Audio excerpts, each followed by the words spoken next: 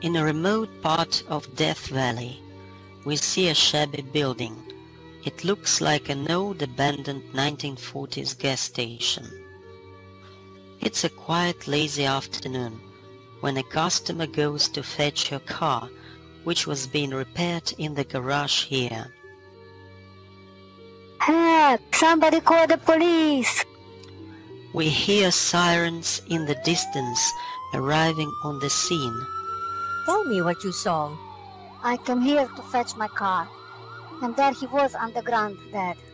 Can you give me your telephone number and address? I might have some more questions for you. Would you mind if I called you? I'm afraid. Don't worry. If there are problems, we will protect you. Call us whenever you need anything. I'm afraid, but okay. I do want to help you.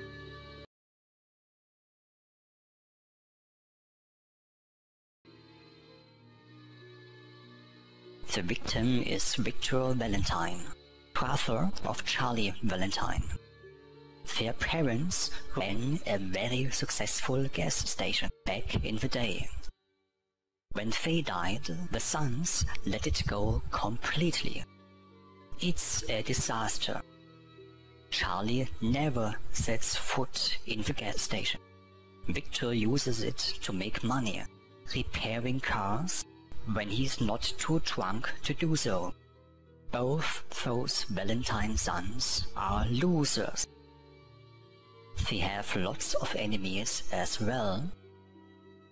Let's listen while Detective Samantha Smart questions the victim's girlfriend Ethel. Hello, ma'am. Thank you for coming into the station today. I'd like to ask you a few questions. It won't take long, just a formality. No problem. What was your relationship to the victim?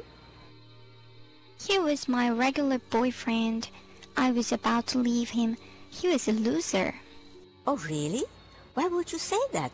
He was lazy and never had a cent. Besides, he has had a mistress for years. The jerk. Interesting. Tell me about this mistress. She's the hag who married that banker for his money. The mistress is married to Chet Chase, the banker? Yeah, the dreamed couple. What do you mean? She plays the victim. In what sense? She'll never leave that fool as long as the money keeps coming. Really? Tell me about the victim. But why does he never leave her? Tell me more.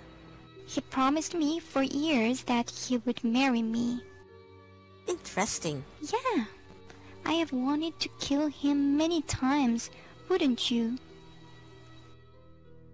Of course, I want to kill him. He kept me hanging for years. Oh, really? He's a cheater. In what sense? He kept lying and telling me they were finished. Again and again he did this. Did he?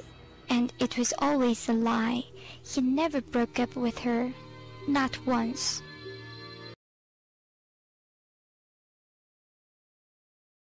Smith the banker's wife. She has been described as very jealous and angry about the victim's involvement with her girlfriend Ethel. She's not a very nice person. She's lazy and loves money more than people, unscrupulous. She's a real piece of work. She left her first husband when he was in real need. She's a drunk. When she's drunk, watch out. She's mean. The main reason she stays with her husband is for his money. She actually despises him. She has an obsession with our victim, Victor Valentine. Patricia has been involved with him for years. No matter what he does, she still continues to stalk him. She won't let him go. She also hates the girlfriend with a passion. Ethel is her enemy. Victor swore again and again that he had broken up with Ethel, but each time Patricia discovered it was a lie, all lies. Good morning, ma'am. Thank you for coming. I'd like to ask you some questions. It's just a formality. Okay, No problem. Where were you between 6 and 7 p.m. last night when Victor Valentine was murdered?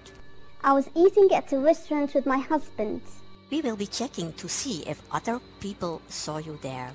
You can ask my husband, or the waiter, or just check the security cameras. What was your relationship with the victim? Well, I knew him, but not very well. He was just an acquaintance. You know, it's very dangerous to lie to a police officer. He was one of my friends. I think he was a bit more than that. Let's put it this way.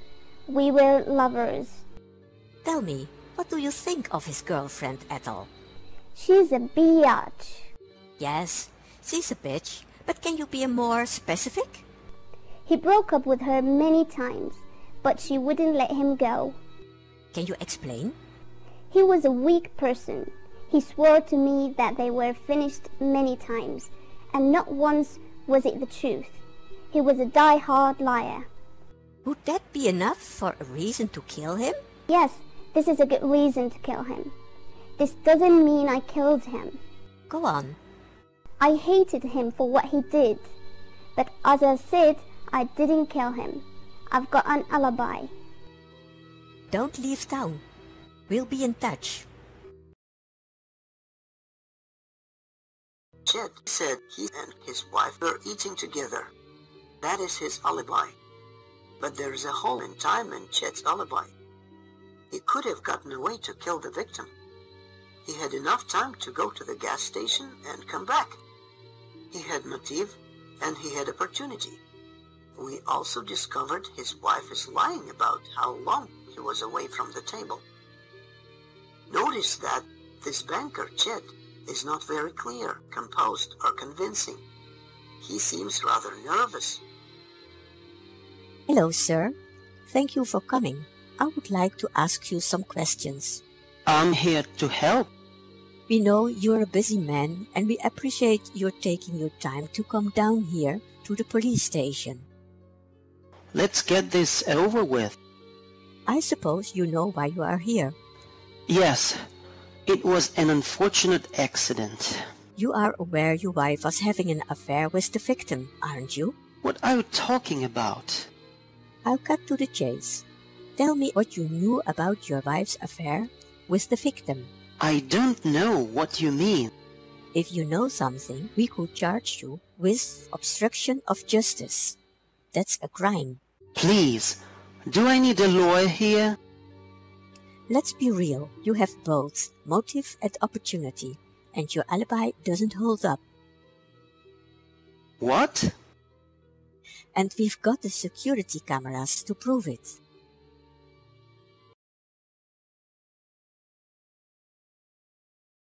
You have both motive and opportunity, and your alibi doesn't hold up. What?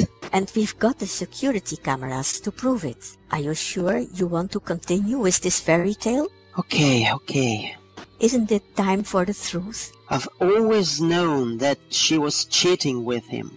Did I hate it? Definitely, but it wasn't enough of a reason to risk everything. We checked out your alibi and there is a problem. How can you account for it? What problem? You claimed you were outside having a smoke for 7 to 10 minutes, but we studied the footage from the security camera. What do you mean? As a matter of fact, you were gone twice as long as you claimed. This time lapse coincides with the time of the murder. What are you accusing me of? Nothing.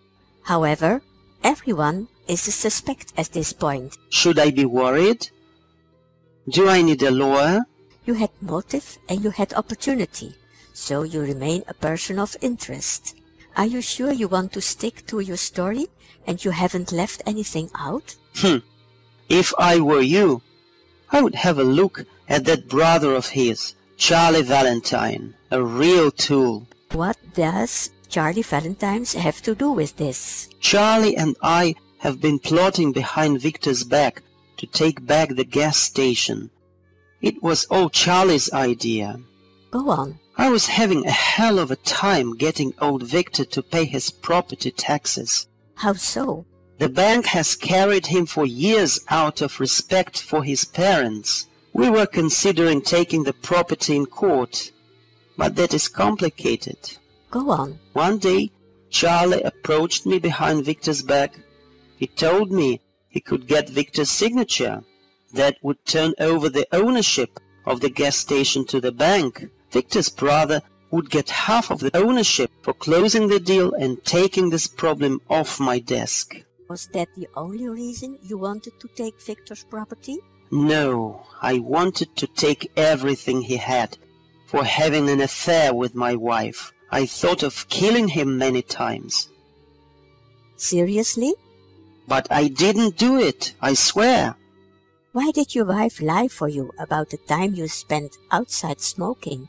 She knew I would look guilty, and it scared her. Okay, Mr. Chase, don't plan on leaving town anytime soon. We'll be in touch. Now let's meet Charlie Valentine and Mrs. Valentine as Detective Samantha Smart tries to get to the bottom of the Victor Valentine murder case. So far, we have a love triangle between Victor Valentine, Patricia Chase, and Victor's girlfriend, Ethel. They all seem to have motive enough to kill Victor Valentine. Then we have a plot by Charlie Valentine and the banker, Chet Chase, to take the victim's gas station. Now let's watch while Detective Smart interrogates Charlie and Mrs. Valentine. We searched your house. We found some evidence. Does this map look familiar to you? Did you even have a search warrant? Don't worry, ma'am. We know what we're doing here. I know this looks bad. I can explain. This map clearly indicates there is probably a billion dollars worth of oil under that gas station. People have killed for less. Yes, Victor and I had our differences. But I would never kill him. I think you and Chet Chase plotted behind Victor's back to seize the property and profit from the oil. That leaves you as our main suspect. That's not true. We did not plot together to kill Victor for the oil. Chet didn't even know about the map or the oil. My wife and I were the only ones who knew the map and the oil existed. But I swear on my mother's head that I did not kill my own brother. Mrs. Valentine, where were you last night between 6 and 7 p.m. when Victor was murdered? I was at home with my husband. No, honey. Remember, I went out to the store. That's right. I have receipts. And the security cameras must have seen me. That proves I didn't do it. And what about you, Mrs. Valentine? You stupid idiot! You've ruined everything. I gave my life to you. I did this for you, for us. I have suffered all these years. I had to do something about this terrible life you have given me. Oh my god. No. We had all that money buried there.